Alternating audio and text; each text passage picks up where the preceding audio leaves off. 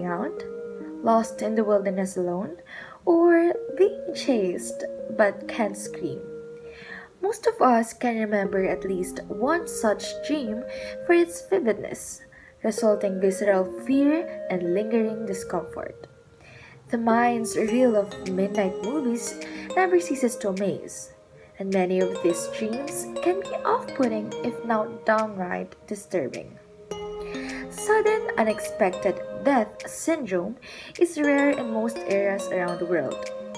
This syndrome occurs in populations that are culturally and genetically distinct, and people who live the population carry with them the vulnerability to die suddenly during sleep.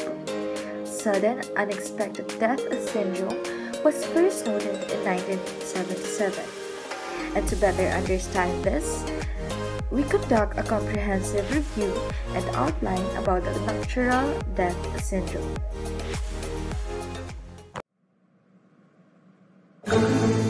Let's talk about nocturnal death syndrome.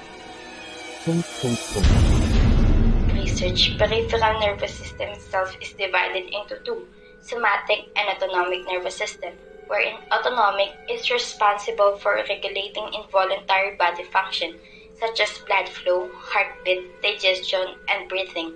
That's why the nocturnal death syndrome is related to this topic because if there's a malfunction in autonomic nervous system, it leads the blood to not circulate when it is needed.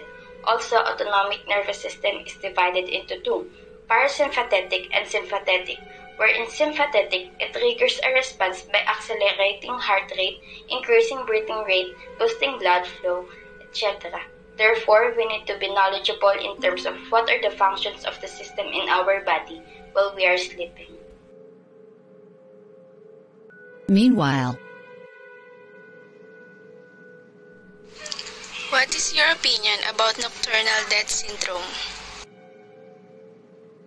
Sudden cardiac death, or SCD, is a leading cause of mortality worldwide, with an estimated 15% to 20% of all deaths. SCD mostly occurs in older adults with acquired structural heart disease.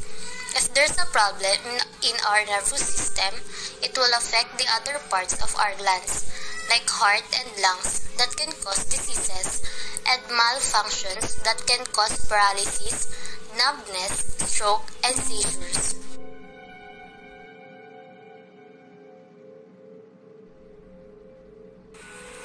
How about you?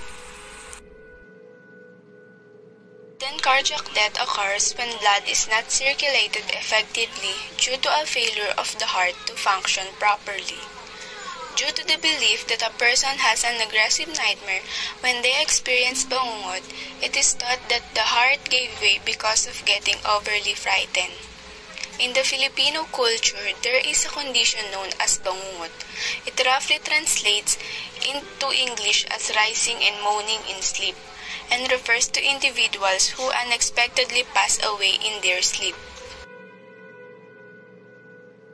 Did you know what they are talking about?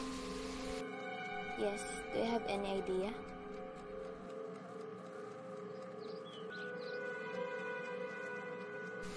Is a disorder found in Southeast Asia, particularly Thailand, Japan, Philippines, and Cambodia. In the Philippines, most common explanation is because of pancreatitis. It is an inflammation of the pancreas that occur when the digestive enzymes start digesting the pancreas itself.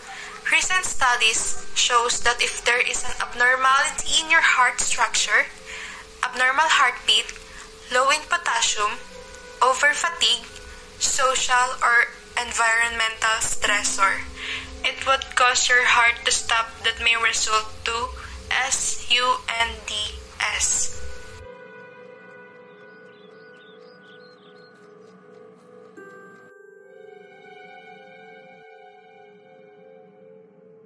End of discussion.